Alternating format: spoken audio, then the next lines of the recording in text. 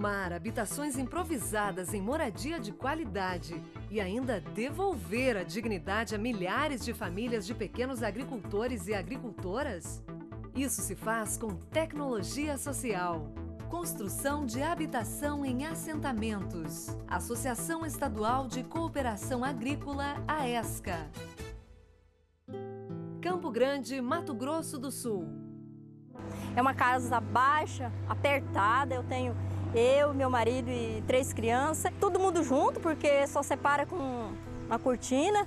Essa casa, para mim, é, é sem conforto. Até 2005, o crédito que as famílias né, beneficiárias da reforma agrária tinham era um crédito no valor de R$ 2.500. Então, os assentamentos que foram criados né, anterior a essa data são moradias muito precárias. Solução. Nós iniciamos o processo de organização das famílias aqui com uma proposta de construir uma casa que trouxesse mais dignidade para as famílias. Então, nas comunidades foram feitas oficinas, o engenheiro, o mestre de obra, os pedreiros daquela comunidade né, desenvolviam um dia de campo, onde iniciava desde o, de fazer o gabarito, né, o início da fundação da casa, com orientação, as famílias participando, com mestre de obra, tirando dúvidas. Como é uma casa sem coluna, é uma casa fácil de se trabalhar, é basicamente tijolo, cimento e areia. A parte de fundação que usa brita só. Então a casa é dividida em três quartos, um banheiro interno, uma cozinha e uma sala integrada, sala e jantar. E uma varanda de 12 metros quadrados, que é na parte externa da casa. E a gente foi ajudando. Começava conforme vinha os material ia fazendo as casas, né? Igual nós, aqui na minha mesmo, foi quatro a cinco pessoas. Os recursos é, é organizado na comunidade, por pessoas da comunidade e acompanhado pelo INCRA. A comunidade elege uma comissão financeira né, de duas pessoas que assinam a conta no banco e quem faz toda a ordenação de pagamento é o INCRA. Interação com a comunidade. Então aqui nós temos né, as 507 famílias organizadas em 10 comunidades. São nesse núcleo de base que se deu todo o processo de construção. Em quantas etapas a gente ia construir, a definição do projeto, a prioridade, porque como foi em duas etapas, é, quais as famílias que iam compor a primeira etapa, não ver nenhum processo de exclusão. Então, nesse processo, todo o assentamento está envolvido. Transformação social. No estado de Mato Grosso do Sul, nós temos hoje mais de 3 mil casas. Em torno de 60% dessas 3 mil casas já estão prontas e as outras estão em andamento. Hoje é um conforto, é um, um sonho Hoje realizado. Pode chover que a gente está tranquilo. Então estamos muito contentes com isso aí. É um orgulho para mim de estar, de ter construído a minha própria casa, né? Estar morando na casa, uma casa de bastante espaço. Então, estou muito feliz com isso. Esse processo mudou a realidade do assentamento. Né? Em termos de perspectiva, em termos de motivação, de qualidade de vida, é outra realidade hoje. Reaplicação. A aplicação então dessa tecnologia, ela é simples. O segredo é deixar que as próprias famílias construam seus sonhos, construam sua casa, tenha orgulho de dizer assim, a casa que eu moro eu ajudei a construir, eu ajudei a edificar. Não são órgãos ou agentes de fora que, que vai ajudar a implementar, é a própria comunidade. Nós estamos tentando é, é, encaminhar junto ao INCRA para que essa tecnologia possa ser adotada a nível de Brasil nos assentamentos de reforma agrária. Ela é, é vai possibilitar uma melhoria na qualidade de vida dos assentamentos a nível nacional tem cozinha, tem a sala bem grande, tem três quartos, né? Banheiro, área. É uma casa 10.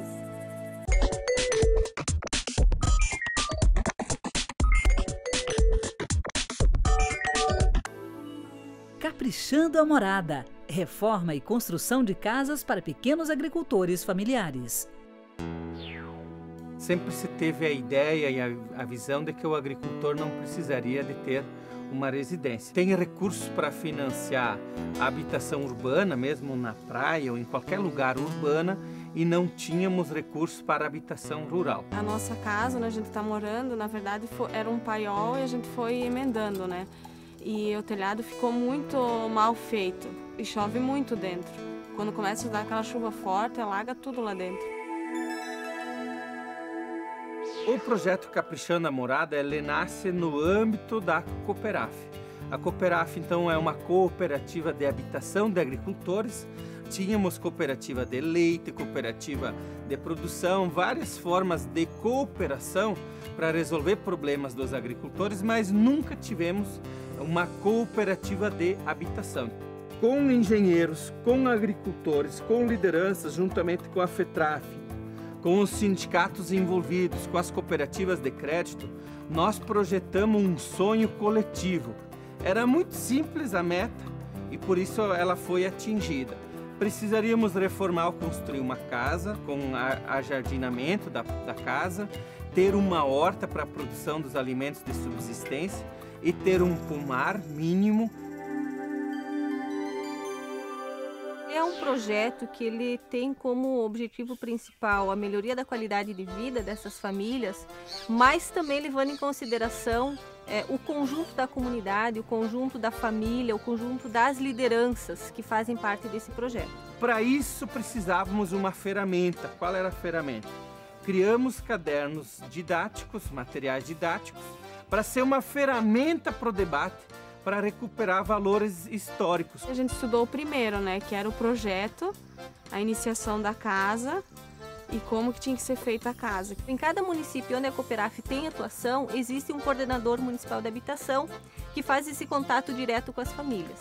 Aí sim passa para a nossa equipe técnica, composta por engenheiros, arquitetos, técnicos sociais, que elaboram o projeto é, técnico de engenharia, arquitetura e também o projeto técnico social, que é o Caprichando a Morada, que vai ser desenvolvido com aquele grupo de famílias. Nós temos na atualidade 15 casas diferenciadas, elas variam de 36 a 100 metros quadrados. O beneficiário, ele não só vai escolher o modelo junto com o engenheiro, mas ele vai participar. Né? A casa vai ter também um pouquinho da mão dele, um pouquinho do, da força dele na construção. Nós trabalhamos com o FGTS, é, com o PSH e com o FDS. São recursos é, do Ministério das Cidades, mas na sua grande maioria através da Caixa Econômica Federal. Hoje já não existe mais uma, uma contrapartida. Hoje eles uh, conseguem o financiamento para pagar mensal, um juro quase que de poupança, um juro baixíssimo. Veio 7 mil, que é fundo perdido do governo, e 5 mil a gente financiou pela Banrisul, 5 anos, 80 reais por mês. Depois vem a segunda etapa, que é o estudo do caderno 2 do social, que a gente trabalha a parte de sindicalismo. No estudo do caderno 3, a gente trabalha jardim, horta e pomar. E a gente já estudou meios alternativos de viabilizar a propriedade, mudar de, de ramo para estar tá gerando lucro para essa propriedade. Fomos nós em reunião, participemos das palestras e tudo mais. E eu, para mim, eu não me arrependi uh, de, ter, de ter cuidado. Se tivesse mais o dobro para eu aprender, eu ia aprender mais ainda coisa. Conseguimos construir mais de 30 mil casas uh, pelo Brasil afora. A Cooperaf desenvolve não só o projeto para as quatro paredes, mas todos os arredores da propriedade, a questão da autoestima, da valorização de toda a propriedade e de toda a família. E principalmente essa questão da família. Construímos política pública, que também é uma inovação social, ou seja, a partir de uma demanda organizada, nós pressionamos o governo, pressionamos a sociedade para que a gente pudesse ter a habitação como um programa de governo, uma política pública permanente. Iniciamos no Sul e hoje estamos atuando em 12 estados e estamos trabalhando agora para o ano 2010 para que cada estado já crie a sua própria cooperativa e tenha sua autonomia financeira, política e possa tocar os programas a partir dos seus espaços. A minha casa é o mais que eu queria, né? Eu estava precisado mesmo da minha de uma casa assim para mim, porque a minha casa que eu tinha não, não tinha mais solução para nós morar dentro.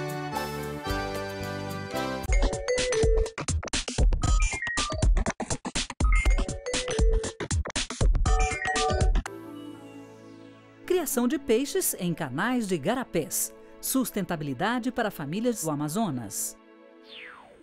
Na Amazônia Legal, nós constatamos que as pessoas que residem em áreas de assentamento, elas residem no local que tem potencial, mas, no entanto, não tem a produção do seu principal alimento, que é o peixe. A gente tem que ir em Manaus comprar o peixe, né?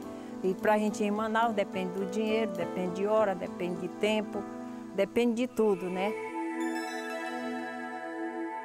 Pensando no problema alimentar, nós desenvolvemos a tecnologia de criação de peixes em canais de garapé nas proximidades de Manaus, que é o programa de assentamento Tarumamirim e Moreno. É um sistema de fácil execução, é barato e pode ser realizado por aquelas pessoas naquelas condições encontradas localmente. Esta tecnologia foi baseada no aproveitamento dos pequenos cursos da água existentes na Amazônia, chamados de igarapés, e a principal espécie de peixe utilizada nesse sistema é o matrinchã, que está perfeitamente adaptado a esse ambiente e pode atingir um quilo de peso ao longo de um ano de criação. Os criatórios foram desenvolvidos com a participação das comunidades em unidades experimentais e toda a madeira retirada para a construção foram retiradas da própria área da construção. Praticamente não existe impacto ambiental, ou seja, não se mexe na camada vegetal. Antes de se iniciar a construção do, do criatório, nós devemos medir a vazão existente, ela vai garantir o bom crescimento dos peixes e o reduzido impacto ambiental. A construção do criatório de em canal de Garapé é feita principalmente em cinco etapas. Primeiro, a construção de um sangradouro. Em segundo lugar, a limpeza do estocamento do canal onde vai ser realmente construído o criatório. E em terceiro lugar, a colocação das paredes em madeira.